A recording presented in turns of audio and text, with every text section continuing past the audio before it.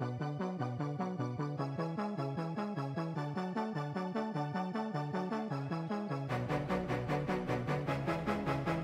probably have to say my mom.